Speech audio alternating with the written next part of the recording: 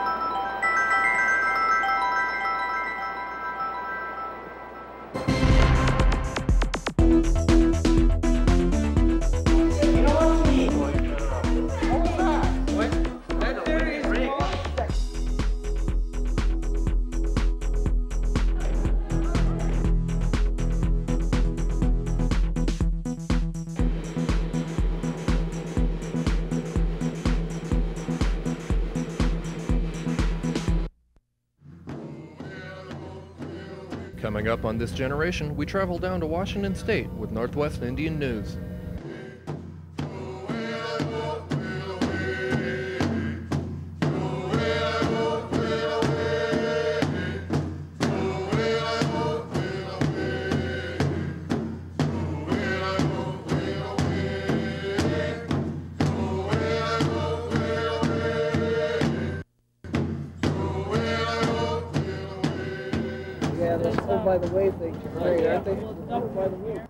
Chenoa Egawa. Welcome to Northwest Indian News. Thanks for joining us. NWIN is a news program that takes an in-depth look at issues and events important to Indian people throughout the Northwest. Today we're reporting to you from the Jamestown S'Klallam Reservation near Sequim, Washington, where the tribe has invited ambassadors from Norway and Namibia to their nation-to-nation relationships gathering. The purpose of the gathering is to discuss areas of common interest among the nations, such as international trade and culture. very proud. I mean, and very excited and proud. Um, we're, we're definitely honored to have such such a um, distinguished guest here and uh, at such a high level um, from a foreign nation. Uh, obviously, the, the, all the tribes throughout the United States are all looking to enhance their economies and, and their business foundations so that they can generate uh, more revenues um, for their fundamental community services. That's an important issue for us. And uh, whether it's Norway, China, or any other nation, that, that we can engage in commerce and, and look for opportunities to develop uh, relations um, for various uh, business ventures, then uh, that's an exciting opportunity for us. Uh, so first things first, just so, so that we understand each other's relationship, what our political standing is, our legal standing is, understanding our culture and the unique needs of, of our communities and why there, there, there is a relationship between us and, and uh, other nations, much less the indigenous people of those other nations. That all helps in, in improving those relationships, and subsequently, we hope that will end up being a, a good business venture uh, as well as these political and cultural um, objectives. 11 other Northwest tribes are here as well to share in the exchange of ideas. In this edition of Northwest Indian News, the Lower Elwha Klallam tribe continues the struggle to protect their ancestors' village of Tse-whit-zen in Port Angeles, Washington. The state wanted to build replacement pontoons for the Hood Canal Bridge there, but instead found graves of the Klallams who called Tse-whit-zen their home for more than 17 centuries. We will see how the diversification of tribal businesses is helping to improve health care, education, and quality of life for tribal members. And we will share in the 150th anniversary of the signing of the Point Elliott Treaty.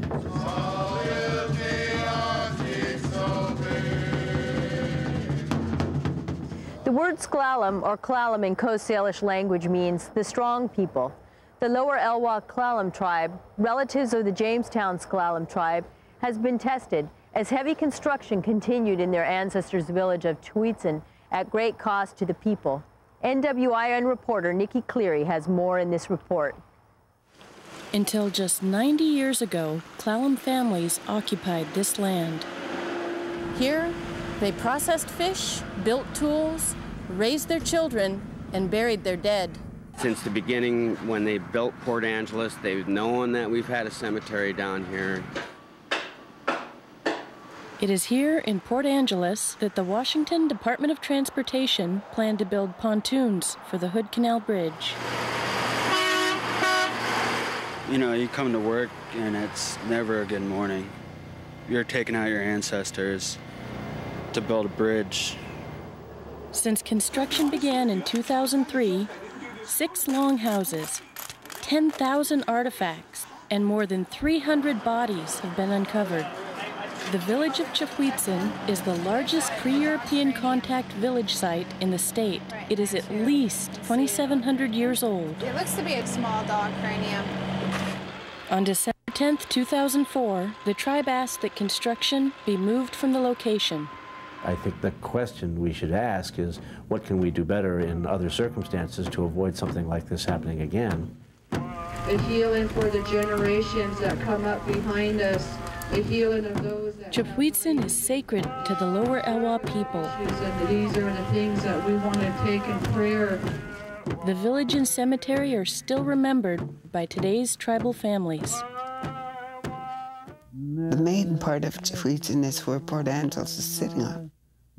Hollywood Beach and all through Port Angeles. And as they were getting pushed, the further they had to go west because they were getting pushed out. As you go west, there was houses all along the edge. There was homes all along there. There was Indian homes.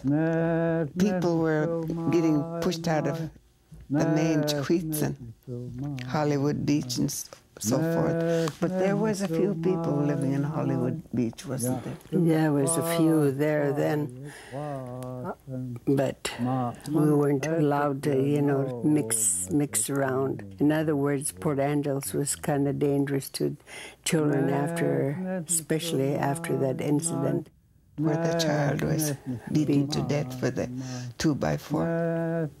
We asked what happened to him, and nobody told us. Several years later, they were saying that you can't say anything because if you did say something, life would be more miserable for them. The, the magnitude of the site is larger uh, than what was initially anticipated. Okay, so here we're looking at a map of a big house. We have staining of wood from the wooden planks that looks to be when it was burned or whatever, it had fallen, and that's why they're kind of off-centered here. They said that Governor Stevens outlawed longhouses, potlatch, potlatches, because uh, the Indians gave away everything that they had in the house and they became destitute. But it was because our ancestors stored their gifts into the house so nothing would happen to it.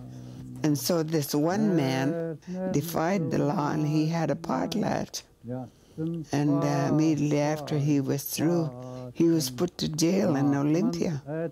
After he came home, he moved his family to Port Gamble. So here we had two, three burials. We had another couple more here, and then we had that one burial that Vicki was talking about earlier. His head was exactly right here.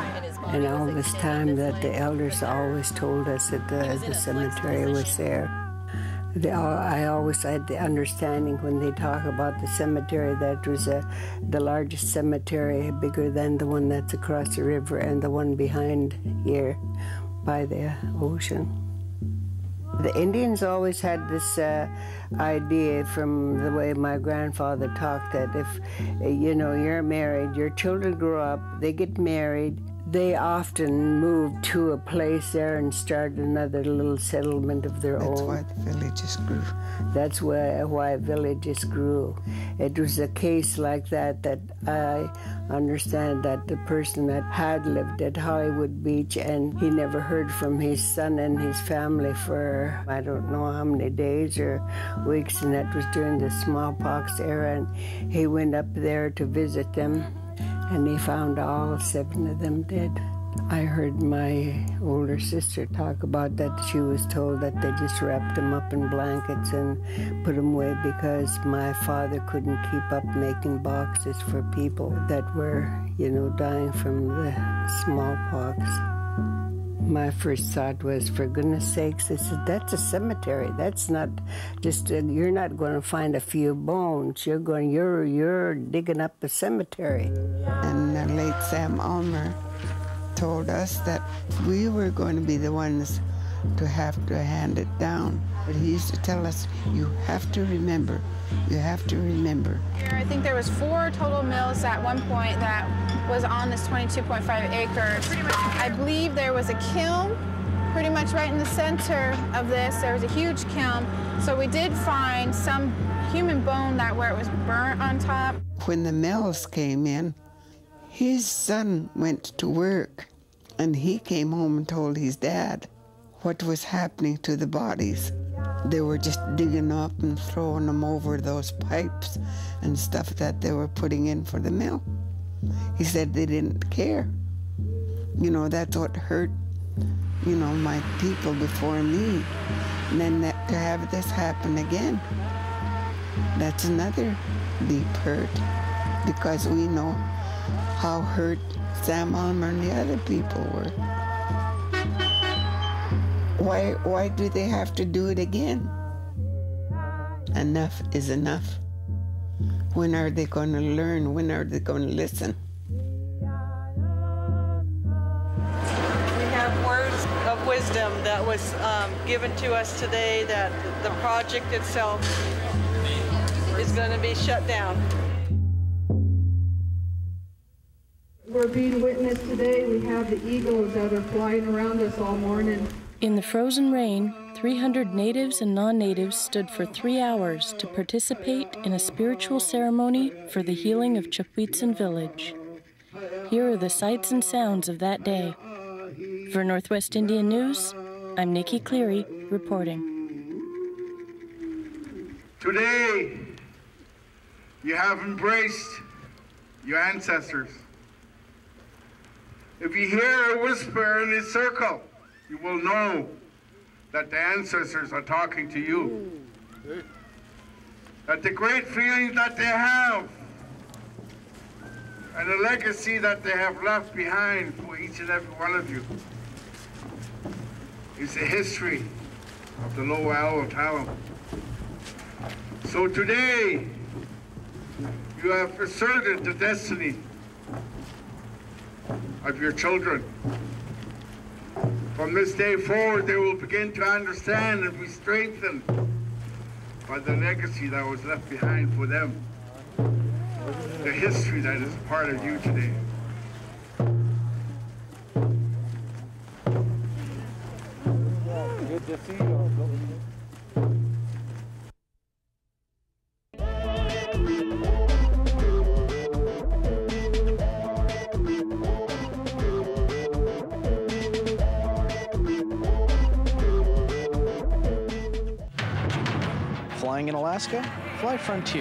Official airline of Heartbeat Alaska. Frontier is expanding again. They've added new routes to Nome, Kotzebue, and the surrounding villages. As you can see, Frontier is now really covering Alaska. So the next time you fly, try Frontier. Frontier offers quick, convenient check-in, low fares, and service direct to many of the villages. Frontier Flying Service is the official airline of Heartbeat Alaska. Make it your official airline too.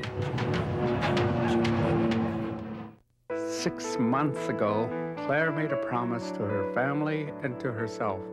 The promise was she'd quit smoking by the time her next birthday came around. and already she's feeling better. She has more stamina, more energy, and her lungs are stronger than ever before.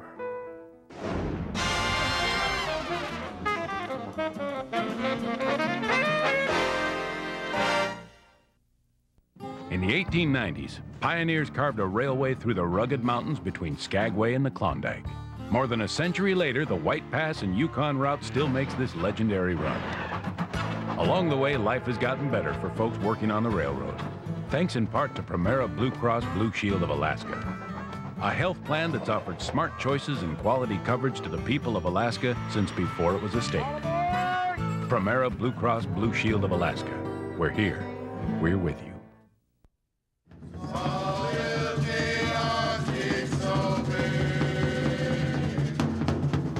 As U.S. federal grant money, housing programs, and anti poverty efforts are being proposed for elimination in 2005, tribes are moving quickly to expand their businesses to fill the shortfalls in funding. Education, health care, and quality of life are improving for many tribal members despite the proposed cuts as tribes strive for self determination. NWIN's Morgan Howard has the story. Casinos have proven to be more than just lucky for Northwest tribes. For some, they have provided substantial revenue. But Native Americans in Washington state aren't willing to gamble on their futures. As federal funding is shrinking for health care, education, and anti poverty programs, tribes across the region are taking matters into their own hands by expanding their economic base. For the long term, I think, uh, and, and you see some of the tribal nations doing this, they're making plans for the for the day after gaming, and and uh, we can we can look at things such as the Eyman initiative and say, well, you know, that day might come very soon uh, via uh, uh changing political uh, landscapes, or we can say to ourselves, uh, no, we're going to do that on our own terms. While existing tribal businesses, including casinos, bring in much needed revenue for health and social services, Tribes can also use funds to diversify business holdings, branching out into other ventures such as commercial property leasing and construction and retailing, all to ensure the continuation of educational programs, housing, healthcare, and quality of life. Right now, this, this is going to be our prefab manufacturing plant where we're going to build uh, panels. Right now, we have a contract for a hotel that's being built in Ocean Shores. Diversification is already working for the Nooksack tribe. Their new healthcare center will be dedicated soon. The facility and increased staff was made possible by the tribe's construction company, casino, convenience store, and other enterprises. We're teaching young kids how to be carpenters, plumbers, electricians, uh, concrete layers, and uh, a lot of it is grant money and some of it's casino revenue, and combined, the money never leaves the community. You know, we're building our own houses, we're building our own buildings. We built this room here. The recently completed Nisqually Red Wind Casino near Olympia replaces a smaller casino at the same site. The casino is one of the largest employers in Thurston County. Revenues from this gaming establishment and other tribal businesses have made it possible for the Nisquallys to also build a new health clinic and increase their staffing as well. The major portion of our money is allocated for all programs. Uh, we're uh, allocated a percentage for long-term investment. Uh, you know, gaming is going to flatten out here in, in, the future, and we'll be competitive. But you know, there's we'll we'll have money to to continue expanding programs on the reservation, and so we can supplement uh, any shortfalls which every tribe you know has. And there's been cutbacks in just about every program across the board from the Bureau to uh, put that money into the programs and uh, keep them going. Education is a high priority for all tribes. The new Lummi Nation School opened in 2004 with a $21 million BIA grant providing most of the funding. But tribal leaders know this could all change. And I applaud those nations that are putting money away for their children. And I applaud those nations that are able to diversify away from gaming, where they're not stigmatized as a tribal, uh, casino tribe. Uh, they're, they're uh, no, they're a nation, and they're a nation where they just so happen to do gaming, but they do all these other things. Even though the Just Treat Us the Same gambling initiative, I 892, was successfully defeated, tribes in Washington state aren't waiting for another challenge to their gaming interest. The casino industry has certainly had a, a significant impact on uh, the welfare of, of uh, Indian nations throughout the nation um, over this last 10 and up to even 15 years. Uh, it's, it's been slow in, in development, but um, it certainly is great, gaining momentum in terms of its impact. It's doing a number of different things. Without a doubt, um, it is generating new revenues that, that has not been available to the tribes to enhance the, the, the uh, healthcare, education, housing needs, reacquiring of our homelands, taking care of our natural resources, and, and other uh, matters that are important to our community, from the youth to the elders. And those programs have substantially uh, um, been uh, uh, positively impacted um, by the, these new revenues. It also clearly uh, it helps us diversify our economic base because uh, gaming isn't the only uh, game in town uh, with regard to um, economic development for the tribes. They need to diversify, uh, generate new kinds of business opportunities, generate new kinds of, of uh, employment opportunities because not all members want to work in casinos. There's other um, professions and vocations they want to engage in. This allows us to develop those kinds of businesses for each of our communities. Seattle Premium Outlets is scheduled to open this spring next to Tulalip Tribe's Quilceda Village Business Park, with as many as 120 designer and brand name stores. Chelsea Properties Group has signed a 30 year property lease and will attract about 6 million visitors annually, which will help the nearby Tulalip Casino and, in turn, the quality of life for tribal members. Other tribes are following suit. The Puyallup tribe will operate the newest Emerald Queen Casino on tribal fee land which is expected to be approved as trust land early this spring. The tribe purchased the Executive Inn Best Western Hotel in Fife, Washington, moving the former riverboat facility there to make way for development of the first tribal deep water port in the United States. The Cowlitz tribe has partnered with East Coast tribal casino giant Mohegan Sun Enterprises. It's waiting for the federal government to decide if they can establish a reservation and build a casino near La Center, Washington. The, the opportunities that this will present for our tribal members is enormous. Uh, I hope that we will see the day soon where all of our tribal members have adequate health care, uh, don't have to pay the thousands of dollars a month for, for prescription benefits like my father has to pay, uh, that they can go to college, that they can come home to Cowlitz country and learn and, and be taught to what it means to be a Cowlitz Indian. Tribes such as the Cowlitz are actively looking toward a future where they too can achieve a greater degree of self-determination, where tribal businesses, including casinos, can help provide for a better quality of life. For Northwest Indian News, I'm Morgan Howard. My name is Frank Ariachno. I'm from Cape Cove, and this generation will be right back. Tax season, and living in rural Alaska means that it could take weeks, even months, to get your tax returns in the mail. It's always two weeks, sometimes six to eight weeks if I remember correct. Let Liberty Tax take away the worry and the wait. Simply pick up the phone and call toll free 1 866 563 2700. You can file your taxes electronically from the comfort of your home. You can usually have your check on a gold streak the very next day. I go through John Hostetter. I trust him. I think I've got more on more returns with him than I would by myself. Liberty Tax guarantees the largest refunds at a smaller price and can often put money in your pocket the very same day. Quick and easy for me.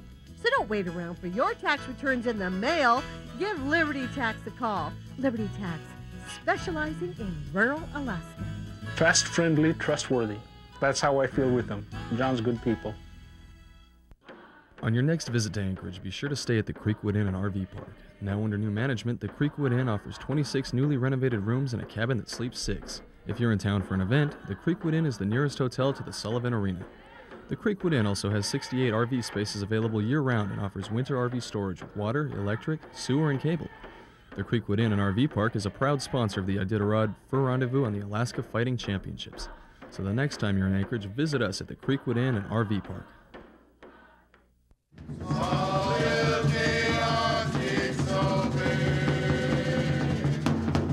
The Jamestown S'Klallam tribe is well known for their leadership and self-governance. In 1874, a band of S'Klallams paid $500 in gold for the 210 acres of land to be closer to their ancestral home. They struggled for over 100 years to remain a distinct community and finally gained federal recognition as a tribe in 1981. But the S'Klallams would not have been able to preserve their culture nearly as well without the foresight of their ancestors, who signed the Point No Point Treaty in 1855. It was 150 years ago when many of the treaties went into effect. The anniversary was recognized throughout the area, including at Mukilteo, Washington, where the Point Elliott Treaty was signed. Tulalip elder Raymond Moses attended the special anniversary.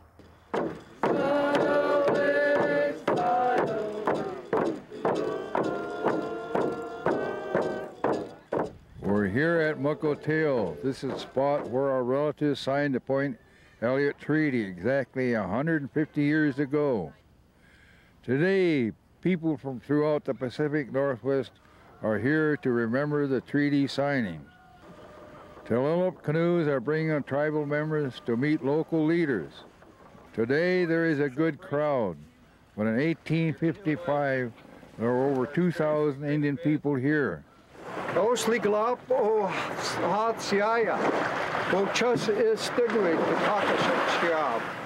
Qua tidi batba the stigwit is just as. Twelve tis siayo. Gia slikale, obis the cockade chus, abu ultimata. And I'm back just saying a great sweet prayer, the great spirit will be right with each and every one of us today, and we shall celebrate. On that day, a century and a half ago, Chief Sealth of the Duwamish and Suquamish tribes was here.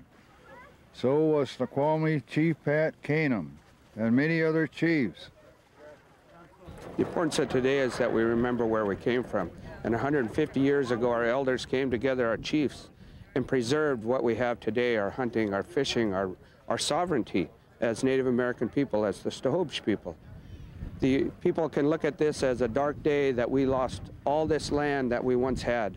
I look at it that our elders were smart enough to preserve for us today what we have left today. They think we're honoring the Treaty of 1855. We are not honoring the Treaty of 1855.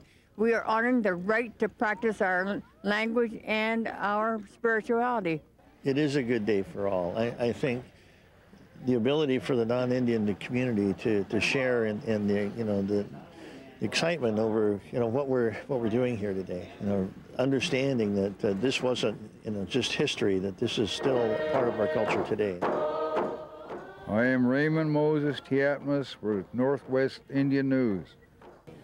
We leave you with some sounds and images of the Jamestown S'Klallam Nation to Nation Relationships Conference as this wraps up another edition of Northwest Indian News.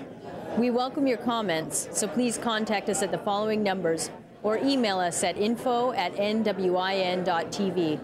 Thanks for watching. I'm Chenoa Egawa. Uh, as Norway's ambassador to the United States, I also represent the Norwegian Sami people. And the largest group of Samis in the world actually live in Norway, about 40,000 of them. And then we, you have groups in Sweden and, and Finland and uh, Russia. And that, they are our native Norwegians, so to say. And I think uh, they can relate to a lot of things and stories that uh, Elaine and other tells about the relationship both between the native population and the majority today, and also about their forefathers and the problems and traumas that they went through. And I think we do have to work together.